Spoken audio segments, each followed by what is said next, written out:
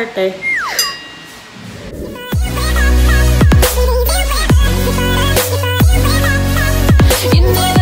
What's up mga lalabs? It's me again, Tami, and welcome back to my YouTube channel.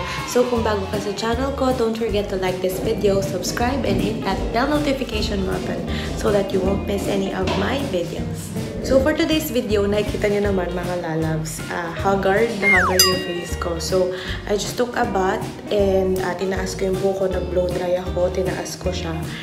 And I just wanna share with you some makeup tutorial, some makeup tutorial, makeup tutorial na wag magmukhang haggard for an everyday look. So, um, ayun, since you all know that I am almost 6 months pregnant and because of hormonal change, mga lalabs ko, ayan, um, nagkaroon ako ng mga pimples and at the same time, ayan, dark spots. Then again, sa mga soon-to-be moms like me, babalik naman siya after natin um, i-deliver si baby. So, ayan, wala lang. So, um, meron kasi nagsasabi dyan na haggard, haggard daw ang aking face at huwag daw gumaya. okay, so para sabihin ko lang sa inyo, hormonal change po siya. That's why uh, yung mga ibang pregnant uh, woman is nagkakaroon ng pimples, ayan, nagkakaroon ng sudden change sa skin color. But then again, um, like me, of course, wag natin pabayaan ang ating mga sarili, mga ladies out there. Hindi lamang para sa mga pregnant woman. This tutorial is for everyone, for every girls out there. So this is my everyday look na pwede kong i-share with you guys. Again, sa mga previous um, makeup tutorial ko, sinasabi ko hindi ako makeup guru. I'm not a professional makeup artist. This is just based on my experience and based on anong ginagawa ko everyday. So, start na tayo mga lalabs ko. It's Sunday today, last day of the month, cut off ni YouTube. So, let's pray it out. So, ayan, pasensya na lalabs. Baka isip nyo medyo parang antok na antok pa ako. Kasi ang aga ko gumising today, ayan, nag-breakfast ako, kumain, medyo siguro mahina yung boses ko ngayon. May nagtulog pa kasi, so magising. Kaya, But I, I think you can hear me, guys, naman, di ba? So, kulog naman kasi dito sa apartment namin. Kaya, um, naririnig niyo naman siguro ako. So, start na tayo mga lalabs. I put a moisturizer on my face, yung aloe vera. Every day, I put aloe vera on my face. Based siya. Hindi ako gumagamit ng mga primer. Ayan, nabanggit ko na to before.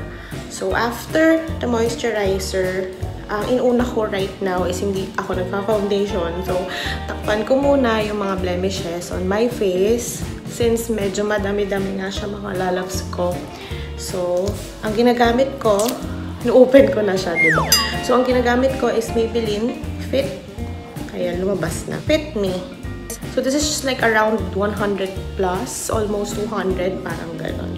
So, maganda siya kasi kumakapit siya sa balat natin. And what I'm using is um, number 20 Sun Page. So, tap-tap lang. Ano ko lang siya dun sa part na meron ako mga blemishes. Ang init, pinatay ko yung electric fan. Narinig nyo ba yung nagkakaraoke sa labas?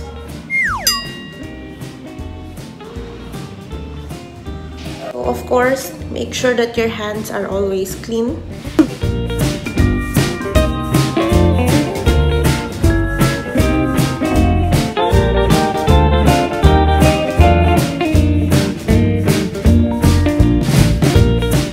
So, this is just my routine.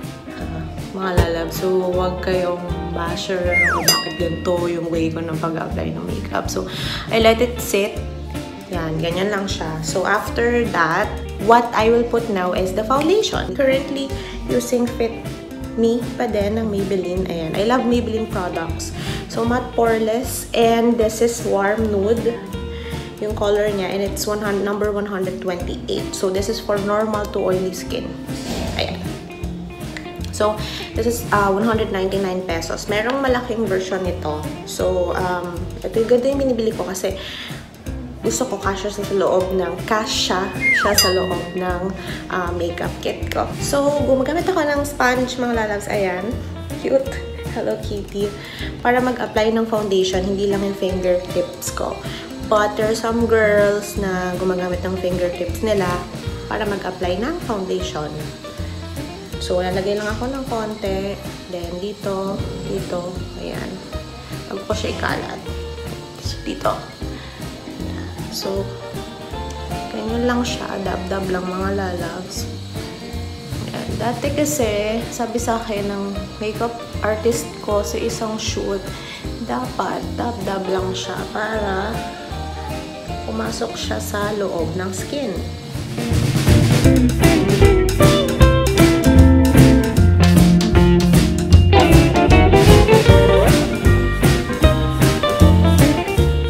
Since meron pa akong nakikitang blemishes dito, lalagyan ko ulit siya. Sorry, lalabs, naririnig niyo yung electric fan. Hindi ko na matiis ang init kasi. Mahulas yung face ko.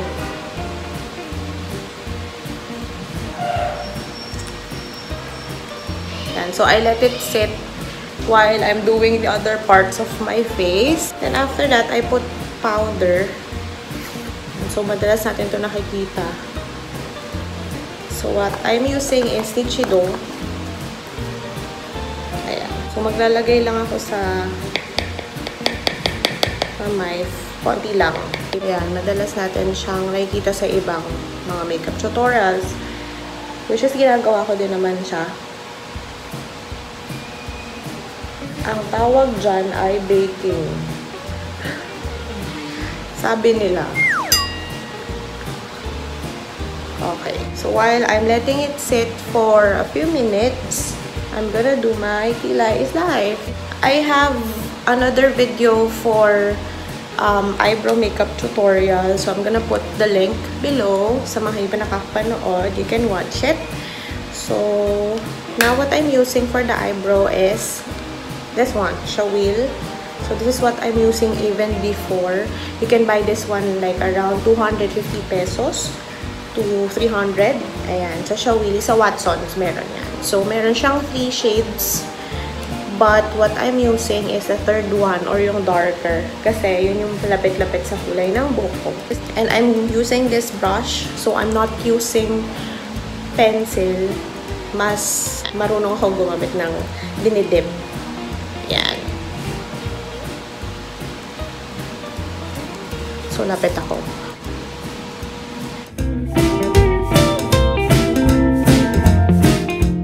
So, dyan ako nagsa-start sa may dulo.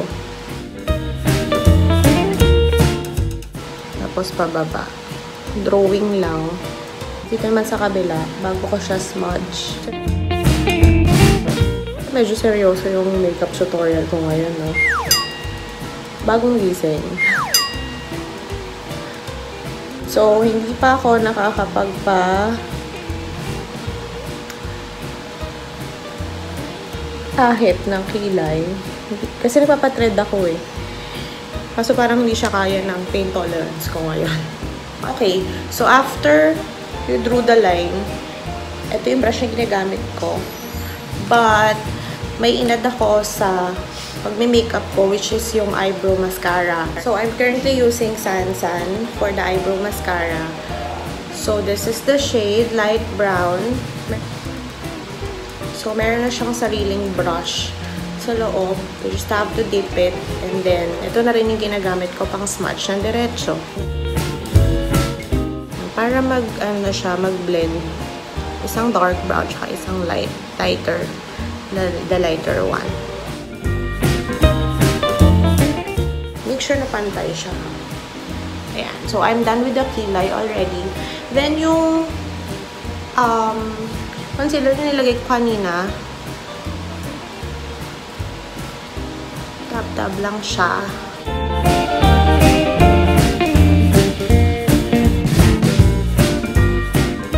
So, hindi pa tapos lalabs ha. Sabihin nyo, kapal lang, kapal lang kilay. Okay, Echosera. Ito wala na talagang pag-asa. Ayan. Mawala na lang siya ng kusa in the future. Ang uh, Fit Me, actually, ng Maybelline is magandang pangtanggal ng mga blemishes. Powder naman.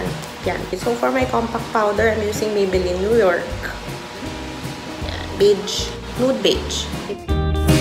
Para hindi mahulas, of course. Ayan, powder lang. Kalat ko lang yung nilagay ko. Yung binake natin. Ayan. Tapos na siyang i-bake. So, ganyan lang. Nilalagyan ko rin to para hindi siya masyado makapal. Ayan. Na ganyan-ganyan ko lang siya.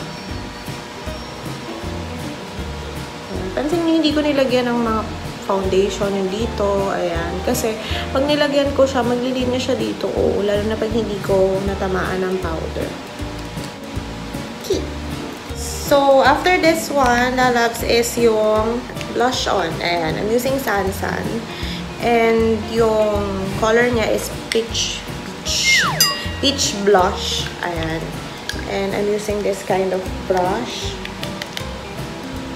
Konti lang kasi ayaw natin magmukhang sinampal ng sampung katao.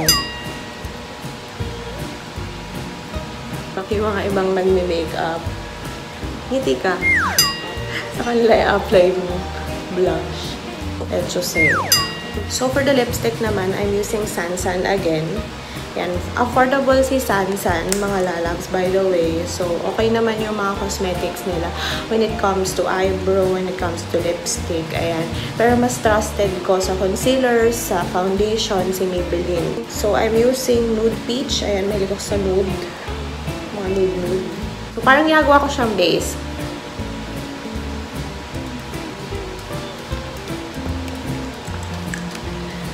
Then, nagli-lip tint ako. Fairy Cosmetics, ayan.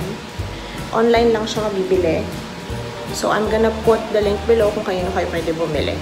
So, the shade is Queen.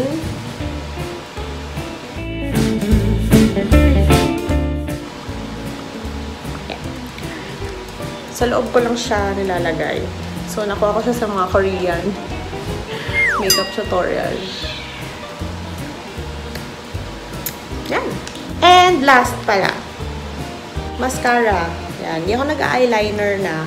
Before nag-eyeliner ako, um, para lang pampabuhay ng mata. Yes, patay. pabuhay ng mata. Ayan, mascara.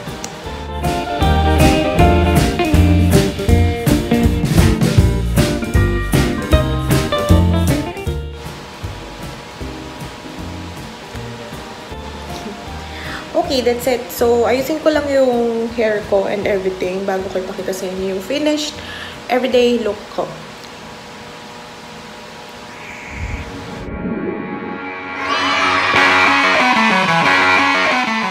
Arte. Oh, ayan. This is my everyday look, mga lalabs. So, that's it. This is my basic makeup tutorial. Basic makeup tutorial. So, this is my everyday look makeup tutorial.